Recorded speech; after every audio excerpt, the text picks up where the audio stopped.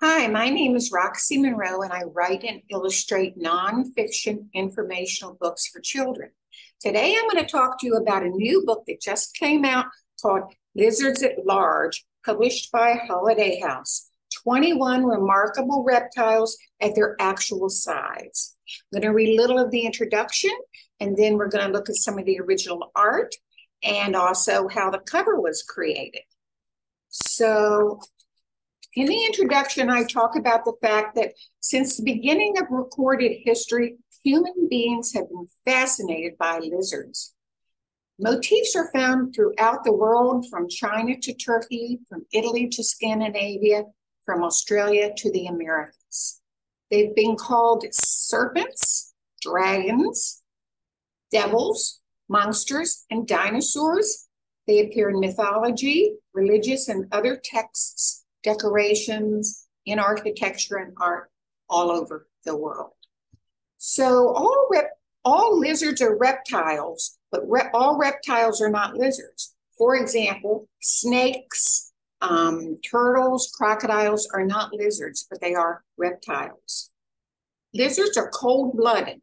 Unlike human beings who have to um, eat to generate heat to keep ourselves warm, Lizards have to go out in the sun and let the sun warm them up, or go under, and then to cool off, they have to go underground or in the shade. So they're dependent upon their environment to keep them warm or cold. Lizards shouldn't be confused with amphibians either. Amphibians are frogs and salamanders and newts, which can look like lizards, but are not actually lizards. Almost all lizards are harmless. Many are helpful. They help control pesky bugs and ants. And research into their clinging feet, we'll talk about in a few minutes, have led to new kinds of bandages people have invented. And their venom may help scientists understand blood clotting and develop new drugs to work with humans.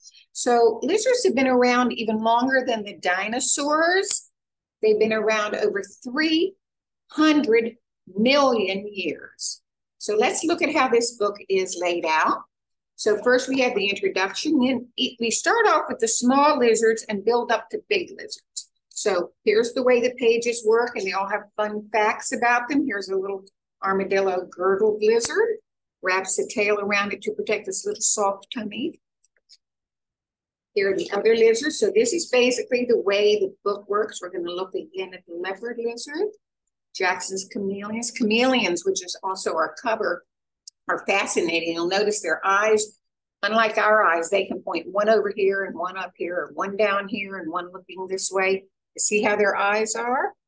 So chameleons are very kind, and they have these huge long tongues I'll show you in a few minutes. And so the lizards are getting bigger and bigger and bigger. Woo! And this guy, the Australian frilled lizard, he looks really scary, but you know, he's just a vegetarian. He doesn't eat meat. Unlike this guy, the Gila monster, who does eat meat and little animals and little rabbits and other lizards. It stores fat in its chubby tail, so it only has to eat once in a while. Then we have my one of my favorite guys who is a vegetarian, perfectly harmless to human beings, the green iguana. I love, I just, this is one of my favorite guys. And then we have the Komodo dragon, which I'm going to show you in a few minutes. Big, big creature. Then in the back of the book, we have more information about all of the um, different creatures and an author's note that I first ran into uh, a lot of lizards when I did a book on deserts. Then more lizards. I did a book on the rainforest where a lot of lizards live. They live all over the world except Antarctica. Um, and we also learn a little bit about how to protect them because as we know through global warming, their habitats are getting diminished and it's making life more difficult for them. We need to preserve their homes. They want to live their lives just like you and I do. We also have in this book books you can and websites you can learn more about lizards and then a glossary. So let's look at some of the art from this book.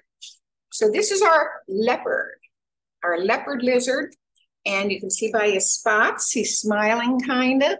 This lizard does not have uh, this is a gecko, and it does not have the clinging feet that we're going to see in a few minutes. Um, but I find him very sweet. He's one of my favorites. Here we have the chameleon.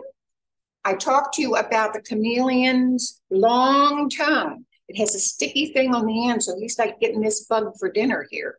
You can see it whips out really, really fast. Grabs his dinner, goes home.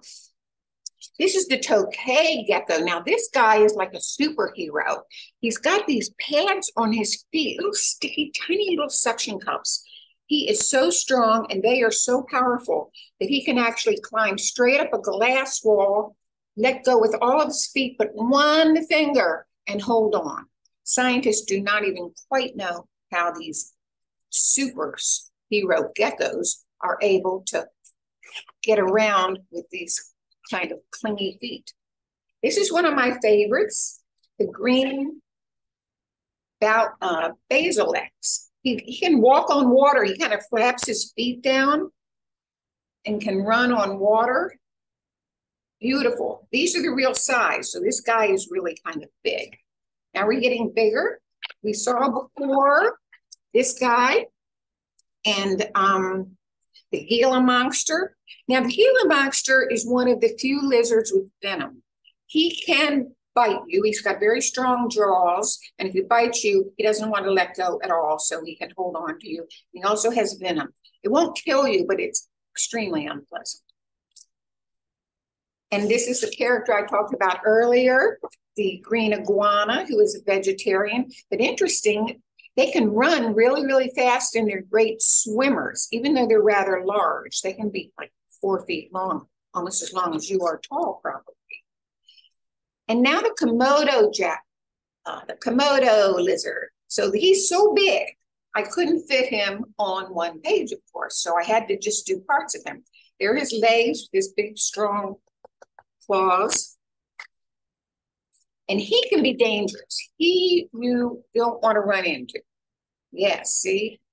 However, it's very unlikely that you will run into him because he lives in Indonesia. There are none of there are none of him in the United States, and there are really only a few left in the world. In that book, also, we have what are called spots, which are little drawings that tell little special things about some of the lizards. So here we have lizards with weird tongues. I talked to you about this guy, the chameleon, Here's a forked tongue. This is a forked tongue, a blue tongue. And here's a guy cleaning his eyes. So that's a kind of a fascinating use of your tongue to use it as a washcloth. Here's some of the different tails of lizards. And the chameleon has a tail almost like um, a monkey. They can wrap it around a tree. It's very, very strong. These guys have a tail, the blue shrink skink that um, sometimes it will fall off. If someone's chasing them like a predator or a bad guy they can like detach their tail and leave it and it kind of flops around and it fools the predator that it's still alive while in the meantime he's escaping. And then here's some of the fun feet that we looked at.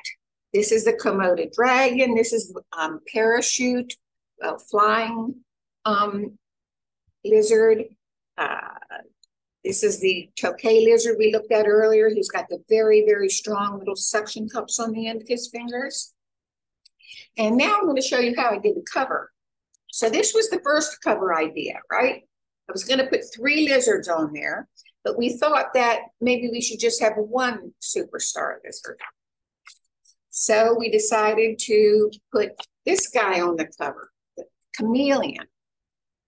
Um, and this is my first idea. So this is what, you know, the cover sketch I would show my editor would be this.